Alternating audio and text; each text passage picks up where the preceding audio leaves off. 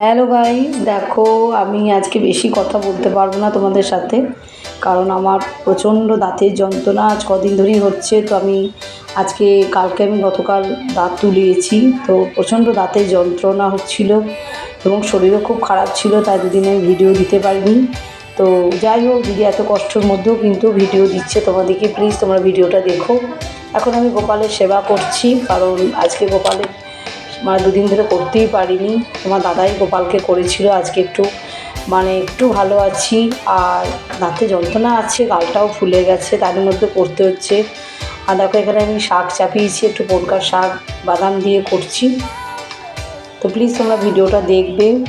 আশা করছি দিদি এত কষ্টের মধ্যেও কিন্তু তোমাদেরকে ভিডিও দিচ্ছি। আর একটু মাছ ভাজা হবে বাটা পোনা মাছ, আজ বেশি কিছু করতে পারছি না। অল্প স্বল্প মধ্যে কাজ ছেড়ে দিয়েছি। দেখো ঘরের দৌড়ে সব পড়ে আছে। জানি না এখন কবে বাগাতে পারব। তো প্লিজ তোমরা দেখো।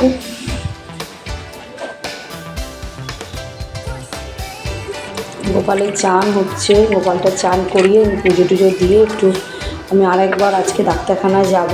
কারণ আমাকে দেখাতে যেতে হবে। ডাক্তার মানে প্রচণ্ড গালটা ফুলে আছে। কারণ আমি একটু বাইরে যাব আজকে ডাক্তার দেখাতে। সেটাও তোমাদের সাথে শেয়ার করব। যতটা পারলাম তোমাদের সাথে আমি শেয়ার করলাম। দুদিন খাইনি গোপাল, তাই ওকে একটু ভোগ করে দিয়েছি। ভোগ দেওয়া হয়নি দুদিন। আর মাকে না খাইয়ে দিলে ও খায় না গোপাল, তাই আজকে একটু ভোগ করে দিলাম। তো আমি দেখো আজকে বাইরে বেরিয়ে গেছি, ডাক্তার দেখাতে যাচ্ছি। তোমরা সকলেই ভালো থেকো, সুস্থ থেকো। আজকে দিদি বেশি কথা বলতে পারছে না। খুব কষ্ট হচ্ছে আমার। প্লিজ দেখবে।